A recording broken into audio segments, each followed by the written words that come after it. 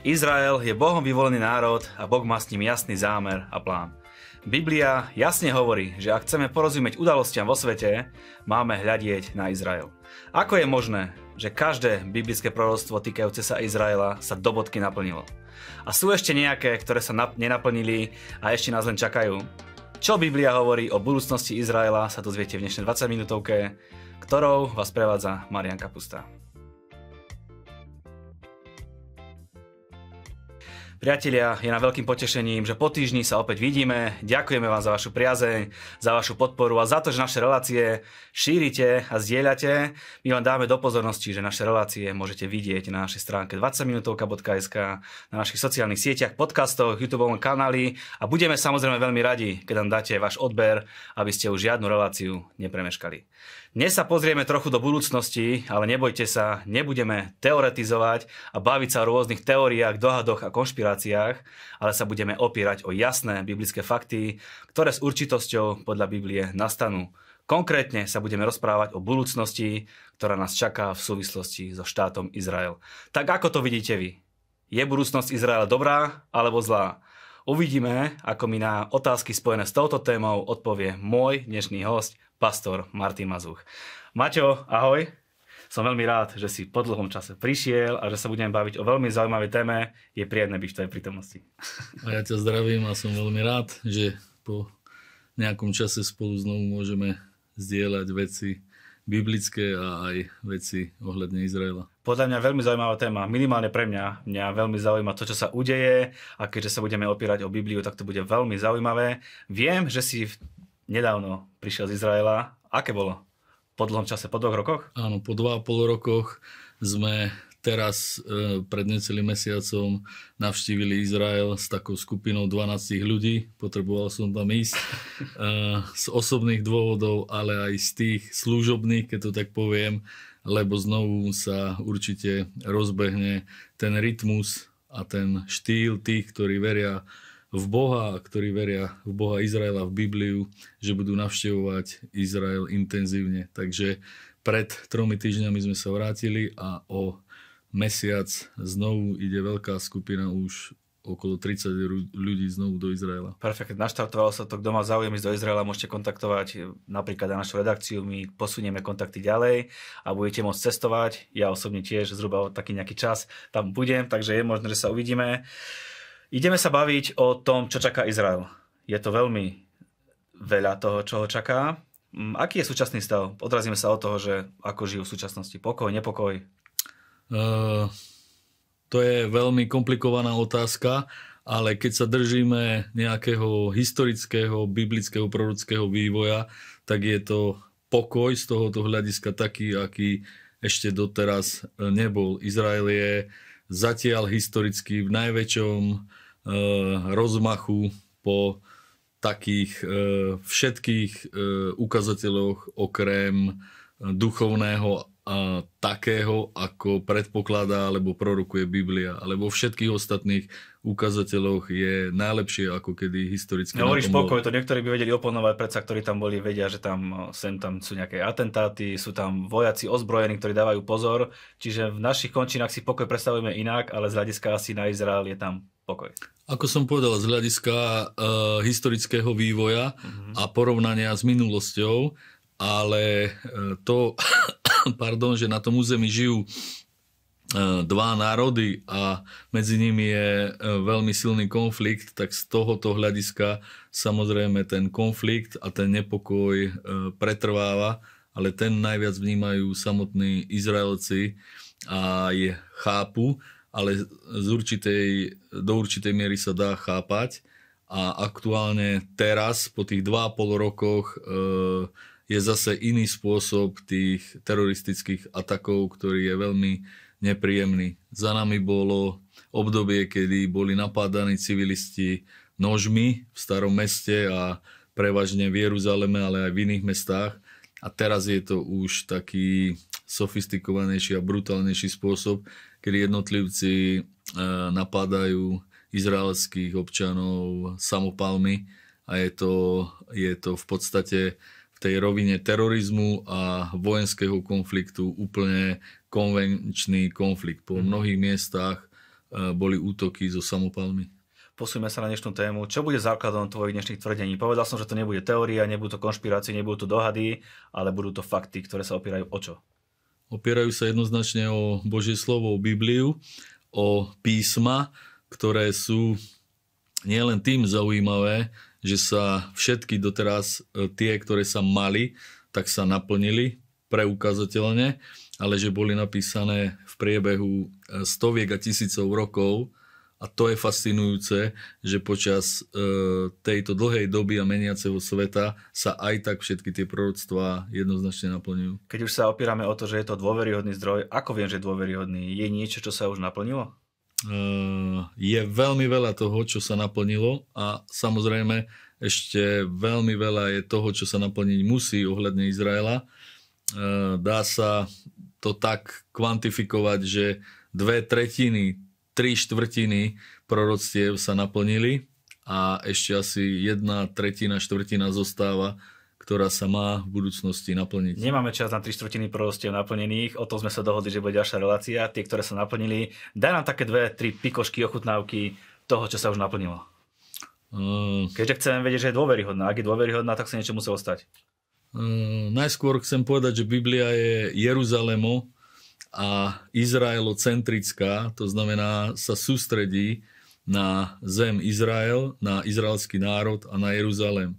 A keby sme písma a proroctvá, ktoré sa týkajú Jeruzalema, izraelského národa a e, izraelskej zeme e, vynechali alebo vybrali z Biblie, tak e, Biblia veľmi sa stenší.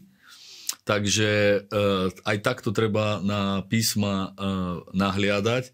A ty sa pýtaš e, také silné alebo masívne, tak ma napáda to, že Boh povedal dopredu, že Izraelci budú rozptýlení do celého sveta a to nie len, že niekoľkokrát je prorokované a že je to podmienené ďalšími naplnenými proroctvami, ale je to fenomén svetový, pretože veľa národov sú nejakým spôsobom rozptýlené v iných národoch, ale žiadny nie je tak úplne presne podľa písem, kedy nielen je prorokované, že bude rozptýlený, ale ako sa bude ten národ aj v tom rozptýlení chovať a čo ho bude sprevádzať v tej histórii rozptýlenia, tej diaspory. A Izrael oproti iným národom je fenomenálny alebo izraelský národ v tom rozptýlení tým, že do všetkých národov a skutočne Židia sú po celom svete a to je to je obrovský fenomén v tom, že ako, ak nie duchovne, sa niečo také môže naplniť, že sú vo všetkých národoch a história to jednoznačne potvrdzuje. Ešte ťa napadá niečo, napríklad uh, založenie štátu Izrael, to bolo, dá sa povedať, tiež nie len povedané, že sa stane, ale to súvisí, obdobie časové. To súvisí a možno sa k tomu dostaneme.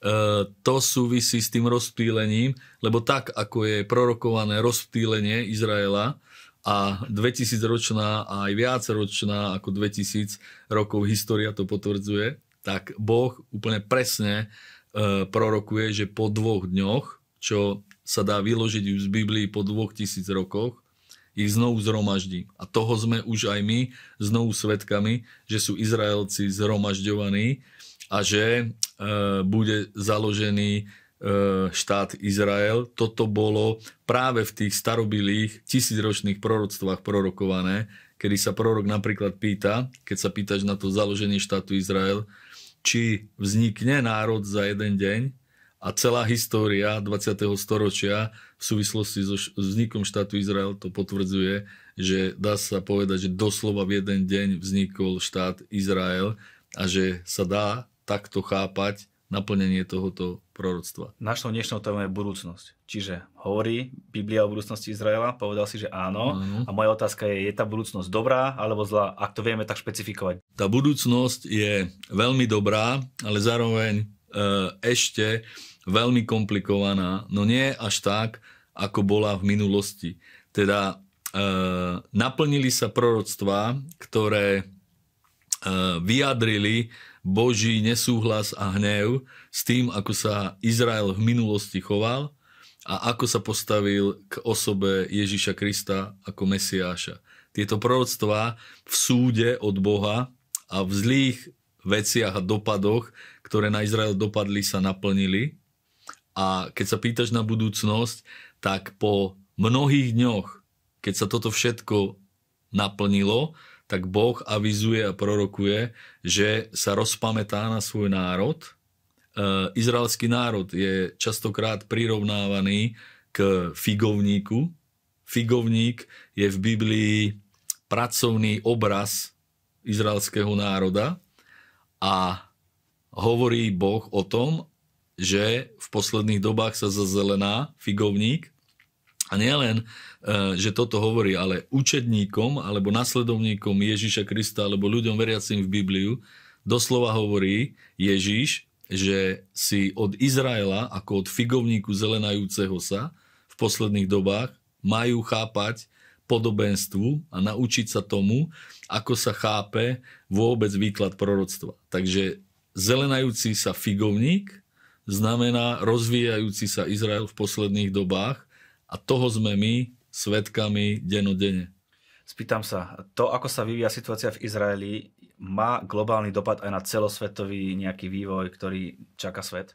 Áno, teraz sa dejú udalosti, kedy zdánlivo Izrael stojí v pozadí, ale v podstate v Izrael je neoddeliteľnou súčasťou celosvetového diania a jak E, pohľadu z e, toho, kedy e, nahliadame na svet ako na konfliktný svet a situácie konfliktné, tak aj z tých pozitívnych a toho, akým spôsobom významne Izrael prispieva k rozvoju celého ľudstva. Takže, takže Izrael za tým všetkým je a udalosti aj dnešnej doby v podstate dobehnú tie proroctvá, na ten čas, kedy sú prorokované. Ako by si navrhoval to, aby sme najlepšie pochopili, čo nás čaká? Povieme si niečo, čo nás čaká v blízkej budúcnosti, alebo pôjdeš od konca a povieš nám, aký bude ten celkový koniec, ktorý súvisí s Izraelom?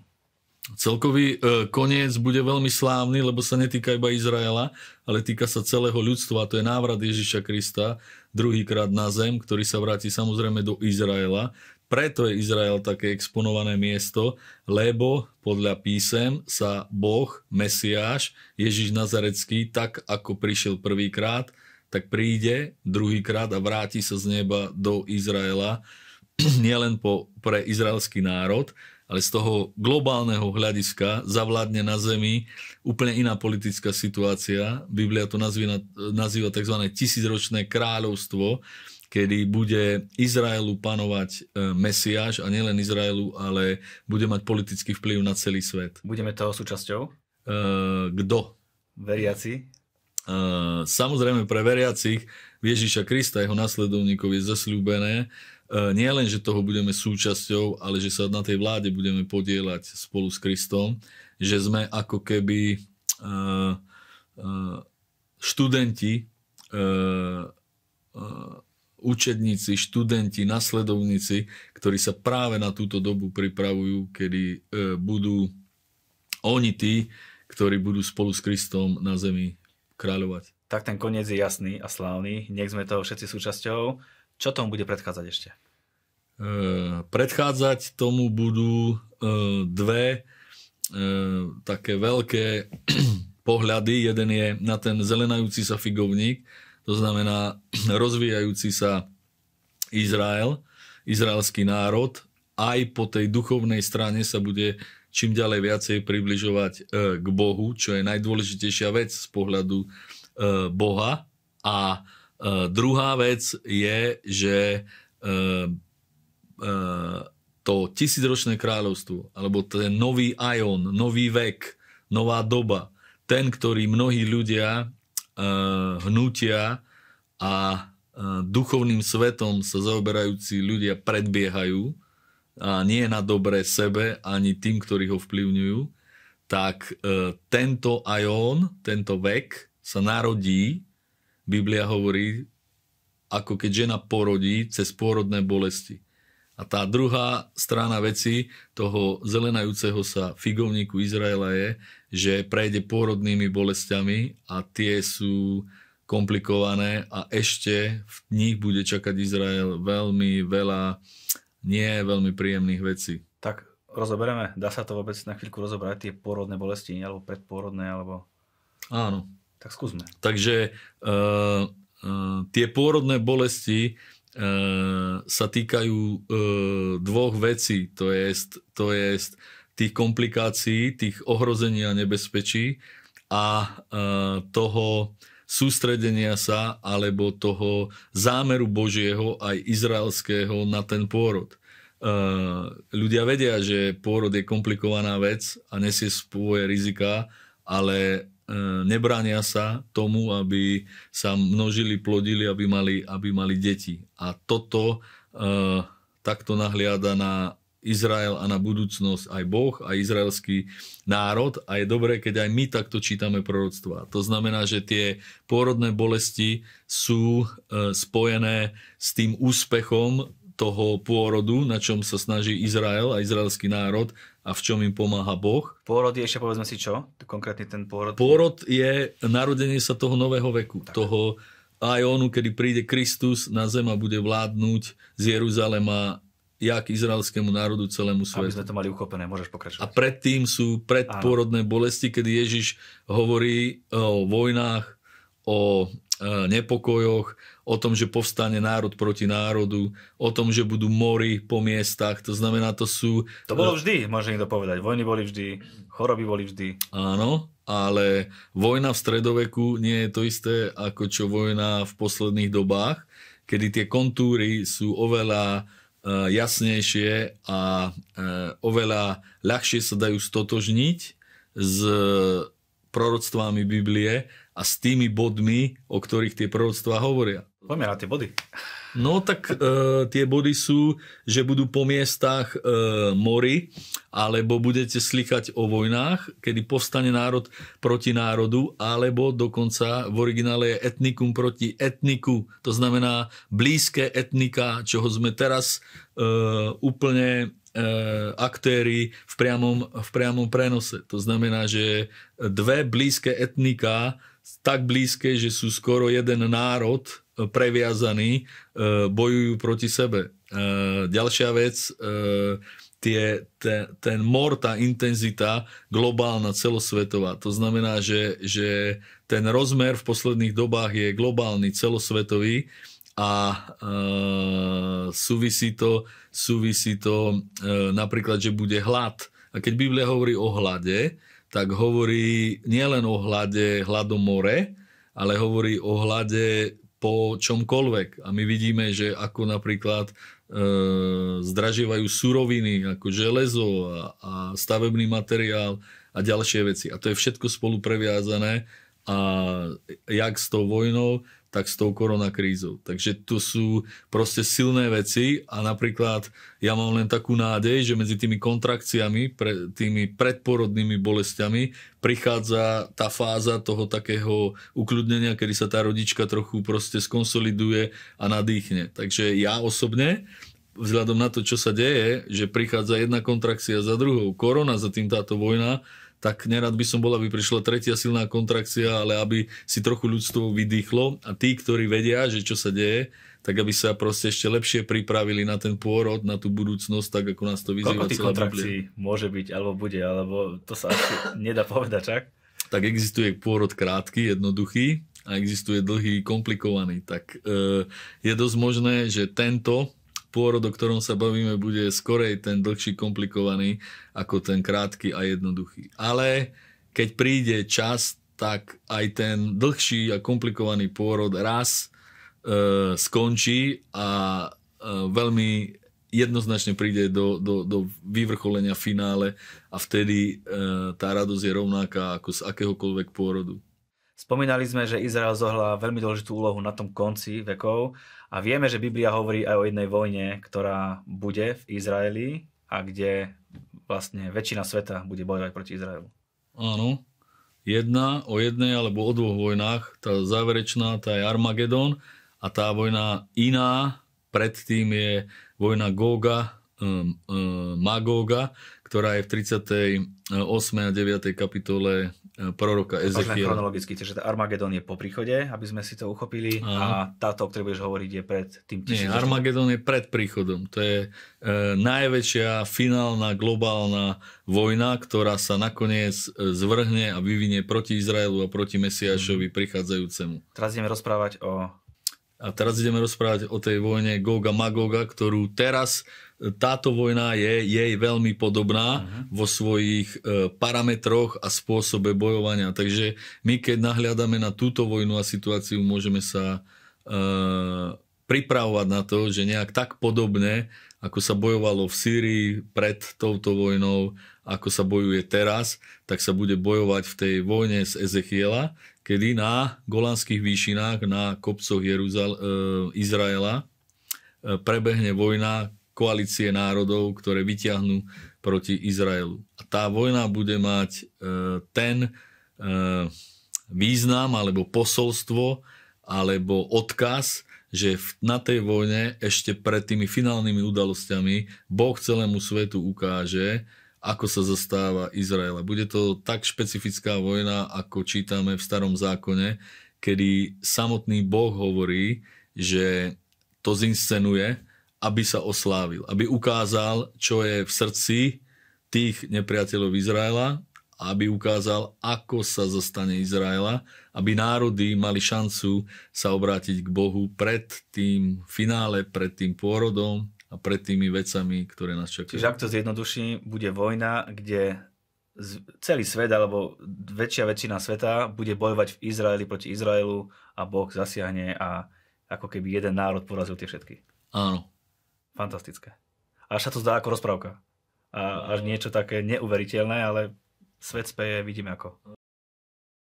Aj teraz ľudia neverili, že, že uh, Goliáš uh, by vôbec mohol na, na uh, Davida zaútočiť, alebo že by Goliáš si s ním veľmi rýchlo neporadil a pozrime sa, že to, čo ľudia neočakávali, sa stalo proste realitou. A hovorím, môžeme sa na tom uh, učiť tomu, že tak ako aj Izrael v minulosti sa ubránil veľkej presile, tak Boh avizuje, že sa to zopakuje a že sa znovu za jeho pomoci tej presile ubráni. Predsa len veľmi stručne, troška odbočím z našej témy. Keďže, sa, keďže vidíme tie veci vojny a ako sa to deje, ako majú kresťania reagovať? Ako hľadiť na to, že nás čaká dobrá budúcnosť a nepodľahnúť tomu tlaku z médií alebo e, propagandy nejakej. Zaoberať sa Božím slovom, naštevovať Izrael, byť e, v cirkvi, vnímať Svetého Ducha a mať e, zjavenie a solidný, konsolidovaný pohľad podopieraný písmami, lebo tu sa nejedná o média, pretože média robia svoju vec, každý sa prezentuje tým, čím je plný a čo chce prezentovať kvôli svojim záujmom. Ale e, vo svete je rozputané čarovanie v takej miere, ako nebolo asi nikdy v tom, akým spôsobom sa vplýva na úsudok e, ľudí. Je to, je to nepredstaviteľné, že sme dosiahli niečo takého, kedy ľudia vidia, majú fakty, dôkazy o rôznych skutočnostiach a cesto sú ochotní e, veriť úplnému opaku. Ale to nie je otázka viery, ale je to toho čarodejného vplyvu. To znamená, že nečarujú nejaké také bosorky o polnoci v televízii, ale sú to vrcholní politici, hovoria, hovorí sa tomu dezinformácie alebo protichodné e, tvrdenia, ktoré majú takú silu, že ľudia im naozaj e, veria navzdory faktom. Jedna hypotetická otázka. Myslíš si, že Izrael a svet vie, aká budúcnosť čaká Izrael? Sami Izraelci a svet? Uh, svet nie, pretože Biblia hovorí, že nepozná ani nemôže poznať, ani nepríjima ducha pravdy, teda e, nepočíta ani nepozná e, zjavenie biblické, ktoré podáva e, prorockú informáciu o dianí sveta a nielen o budúcnosti, ale aj o histórii, o minulosti. To je, čo sa týka sveta. Proste to nechápe. Mhm. Nemá to ako chápať a keď sa mu to aj predkladá, tak to svet odmieta.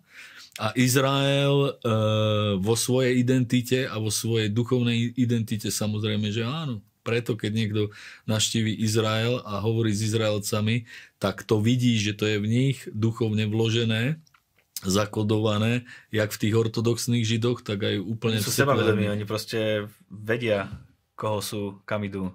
Uh, áno, áno, je všeobecné povedomie, že sú si vedomí toho, že sú výnimočný národ, vyvolený Bohom, nie v tom svetskom zmysle nejakého nadradenosti alebo takého ľudského, takého zlého motívu nadradenosti, ale že ich vyvolil Boh a že sú kráľovské kňazstvo alebo že sú kňazský národ, ktorý jeho úloha je, aby sprostredkoval vzťah a poznanie samotného Boha stvoriteľa. Z toho mi vychádza, že je dobre byť na strane Izraela ako krajina, ako štát. Je to tak? Sú nejaké krajiny, ktoré sú spriateľenejšie alebo ktoré budú podľa Biblie s nimi ruka v ruke? Áno, je to historicky dané, ale Boh dáva možnosť sa národom obrátiť. Preto bude aj tá vojna. Je tam doslovne napísané, že Boh to spôsobí na to, aby sa ukázal, oslávil pred národami, aby ho poznali masívne národy, že Boh stojí za Izraelom a aby na národnej úrovni e, národy prehodnotili svoj postoj e, k Izraelu. E, spomínal si, spomínal si jedno zhromaždenie izraelského národa, ktoré sa naplnilo pri zrode štátu Izrael. Ešte bude jedno iné. Áno, ešte bude jedno iné a tu by som chcel povedať svoje e, nejaké osobné vnímanie, keď som sa stal kresťanom, tak jedna z informácií, a keď sa človek začne zaoberať Bibliou a písmami, tak e, sme sa v 90. rokoch dozvedeli a, v kontexte proroctiev pochopili, že naozaj Boh zhromažďuje Izrael. A bola informácia, že pred všetkými tými udalosťami príchodu Ježiša na zem a toho tisícročného kráľovstva budú zhromaždení Izraelci. A keď to pozorujeme, čo sa deje vo svete, tak je e, zarážajúce a podivuhodné a povšimnutia hodné, že ako sa to stane, že do jedného budú všetci zhromaždení v Izraeli. A ja som dlho nevedel porozumieť e, tomu, e, e, predstaviť si to. Jedna vec je dôverovať, že Boh to nejak urobí, ale druhá vec je predstaviť si to. Bola jedna vlna, ktorá sa udiala a deje sa až do príchodu Mesiáša, kedy už teraz viem, že nebudú všetci zhromaždení v Izraeli a z istého dôvodu e, toho, čo sa bude na izraelskom území diať, ani by to nebolo vhodné, ale potom, keď príde tisícročné kráľovstvo, tak pre tento svet príde nový Boží impuls, kedy e, Izaiáš hovorí, a to stojí za povšimnutie, proroctvo z 11. kapitoly, ktoré začína tým, že vyrastie prútok z koreňa Izaiho a to je prosto naplnené, že sa objavil Mesiáš a celá tá, eh, keď prišiel prvýkrát Ježiš. A celá tá kapitola eh, kontinuálne popisuje duchovný eh, prorocký vývoj až do tisícročného kráľovstva. Čiže hovorí, že na tom Mesiášovi spočinie duch hospodinov a potom je tam, že čo sa stane a to sú už proroctvá, ktoré sa ešte nenaplnili. Tieto sa naplnili, Ježiš prvýkrát prišiel a ďalšie verše hovoria o tom, že vtedy, keď on príde v sláve, v tom tisícročnom kráľovstve, tak sa zmení povaha zvierat. Budú e, zvieratá, ktoré sú oproti sebe nepriateľské, šelmy a bylinožravci budú spolu e, v komunite a takúto zmenu dokáže len úplne iná E, prítomnosť e, Boha a dobrého vplyvu na zemi, aby sa stala.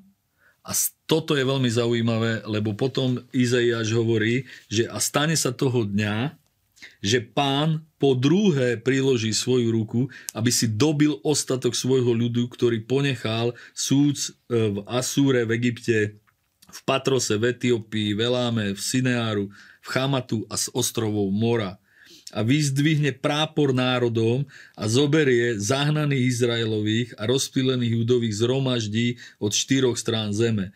Potom e, uhne žiarlivosť tam od Efraima, tam sa budú riešiť vnútorné veci Izraela a potom e, e, je tam 12. kapitola, kedy bude celý Izrael a národy oslavovať Boha v Jeruzaleme nevydaným spôsobom e, teraz ani historicky. A toto zhromaždenie je možné, kedy Izraelci, a teraz hovorím pre tých, ktorí e, majú radi Izrael a majú vzťah s Ježišom, s Mesiášom, e, ako teraz túžia ísť do Izraela, podobne ako Židia v tej prvej vlne. Ale keby sa dozvedeli, že teraz aktuálne už je tam prítomný Mesiáš, tá túžba ísť do Izraela by bola oveľa väčšia. A tá túžba sa spustí tom pôrode, v tom tisícročnom kráľovstve, kedy sa zhlúknú nielen všetci Židia v izraelskej zemi, ale aj budú, tak ako sme čítali, Izrael bude práporom národom a národy pôjdu proste za víziou, ktorú prinesie na svet Mesiáš Ježiš Nazarecký. Maťo, sedel by som tu ešte takto minimálne dve relácie a počúval ťa, kladol ti otázky, lebo je to veľmi zaujímavé, ale všetkému je raz koniec a žiaľ musíme to ukončiť. Tisícročné kráľovstvo, proroctva, ktoré sa naplnili na Izraeli, to sú témy, ktoré možno môžeme dať do budúcna a myslím si, že to bolo veľmi zaujímavé. Len tak sedím, počúvam, užívam si to. Verím, že aj vy ste dostali takú chuť možno milovať Izrael, možno navštíviť Izrael a hlavne skúmať Bibliu, aby ste vedeli, čo nás čaká, aby ste sa nebali, aby ste boli smelí, aby ste mali jasný cieľ a jasný zámer so svojím životom. Maťo, ďakujem ti pekne za tvoj čas. Bolo to príjemné a teším sa na ďalšie stretnutie. A ja ďakujem za pozvanie. My vám ďakujeme za vašu priazne, za to, že tieto videá šírite, že ich zdieľate. Nech je váš pokrok zrejmy vo všetkom. Dajte Boha na prvé miesto, On vás dá na tie miesta, o ktorých ste aj nesnívali a majte na pamäti, že tie najlepšie dni sú stále iba pred vami.